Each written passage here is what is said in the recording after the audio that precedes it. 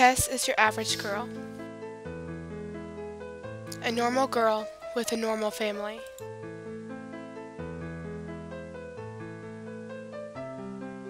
Or so you thought.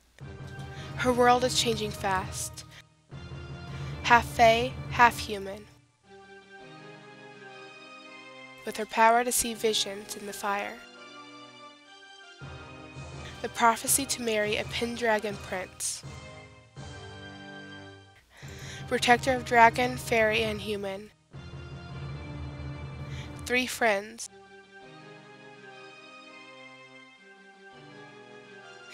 One witch hunter. One secretive guy. And one mysterious kingdom. Will the fire point her right?